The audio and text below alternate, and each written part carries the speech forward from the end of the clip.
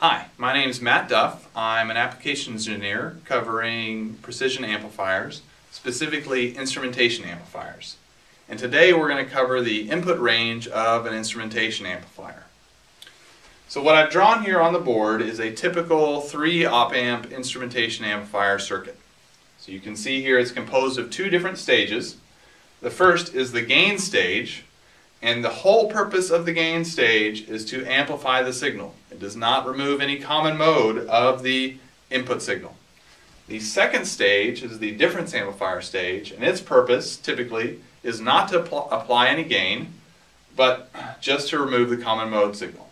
Now, the 3 op amp architecture is the most popular on the market today, and the reason for this is because it has a lot of nice qualities. Because we do the gain first, and only the gain first, uh, we can gain up the signal and then any other work which might add extra non-idealities, no, uh, noise, and so forth is applied to the signal that has already been gained.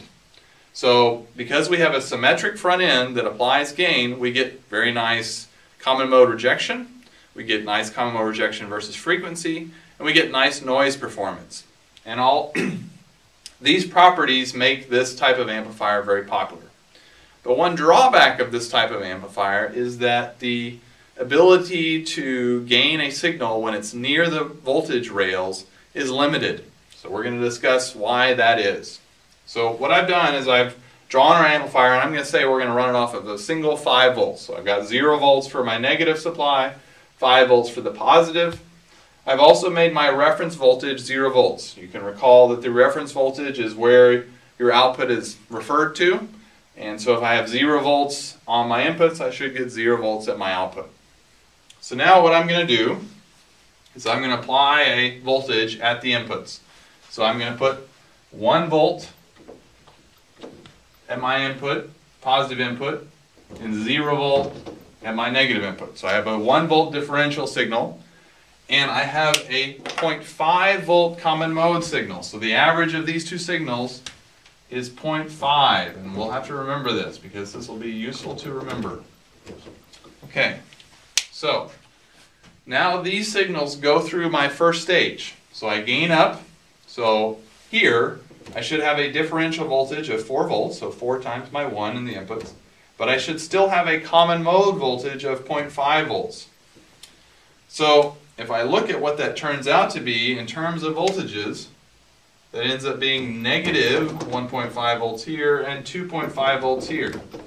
And that is the problem. So the problem is, I've got this negative 1.5, but I'm running off of a 0 volt single supply. And even if I use rail-to-rail op amps here, there's no way that it's going to get below the rail. So what's going to happen is instead of doing negative 1.5, the part's only going to do 0 volts. Draw this, sorry, I got my numbers mixed up here. Here is going to do 0 volts, and here is still going to do 2.5. So now, when I go through my difference amplifier stage, instead of getting the 4 volts out at my output that I want, I'm going to get 2.5 volts out at my output. So 2.5 volts, not what we want. So what do we do? Well, there's a couple things we can do to solve this issue. One is that we can move our common mode range closer to the center of the part. And this is one reason that for strain gauges or for anything that uses a Wheatstone bridge, In-amps are perfect because the Wheatstone bridge tends to put your common mode signal right smack in the center of the part.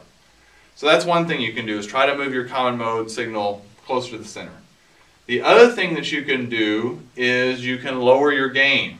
You can notice that if we were using perfect rail-to-rail op amps here and I had a gain of 1, then we would not have seen our issue. So this 0 volt would have passed through, this 1 volt would have gone through, and we would have gotten 1 volt at the output just like what we want with a gain of 1.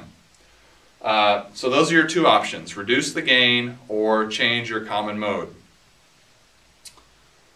So this presentation, what we covered was the input range of a typical 3 op amp instrumentation amplifier and why it has some difficulties trying to amplify a signal when it's very close to the input rails.